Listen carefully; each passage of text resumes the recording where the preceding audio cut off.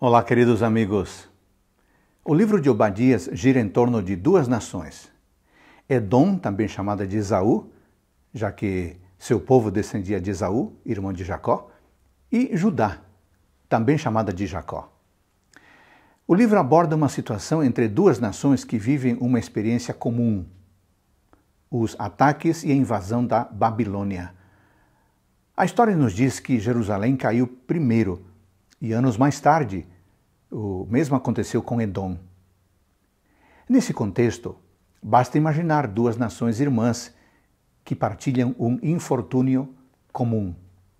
Porém, o livro denuncia que Edom zombou e até se aproveitou do infortúnio de Judá. No breve período em que apenas Judá caiu em desgraça, Edom não agiu fraternalmente. Deus afirma por meio do profeta: você não devia ter olhado com prazer para o dia do seu irmão, o dia da sua calamidade. Você não devia ter se alegrado pelo que aconteceu com os filhos de Judá no dia da sua ruína. Você não devia ter falado de boca cheia no dia da angústia. Você não devia ter entrado pelo portão do meu povo no dia da sua calamidade. Você não devia ter olhado com prazer para o seu mal no dia da sua calamidade. Você não devia ter posto as mãos sobre os seus bens no dia da sua calamidade. Versos 12 e 13. Isso é compreensível. Não é bom rir ou zombar da desgraça alheia.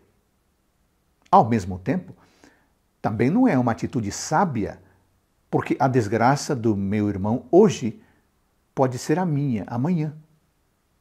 O mesmo aconteceu com Edom. Eles riram e até dificultaram a fuga de parte de Judá durante a invasão babilônica. Mas eles também foram invadidos. Deus lhes disse: Você será tratado da mesma forma como tratou os outros. O mal que você fez cairá sobre a sua cabeça. Verso 15. O correto seria eh, ser solidário com Judá, pois compartilhavam experiências como nações vizinhas. A invasão babilônica forçou Edom a reconhecer essa experiência compartilhada. A dor tende a fazer isso. Diante da dor ou da angústia, vemos com mais clareza o quanto somos parecidos. A calamidade não discrimina. O que também não discrimina é o desejo de Deus de restaurar. O Senhor elaborou um plano para salvar seu povo e todos de qualquer nação, se estivessem dispostos a receber sua salvação, seriam beneficiados. Lemos no verso 17: Mas no Monte Sião haverá livramento. O monte será santo e os da casa de Jacó tomarão posse dessa herança. Verso 17.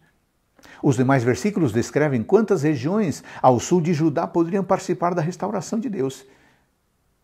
E Edom estava entre elas.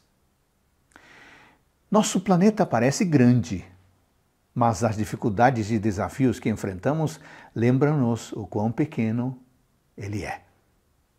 A mesma coisa acontece em nosso país, cidade, bairro e até em nossa família. Momentos difíceis devem nos unir. Assim como os infortúnios nos unem, podemos permanecer unidos na experiência de sermos restaurados por Deus.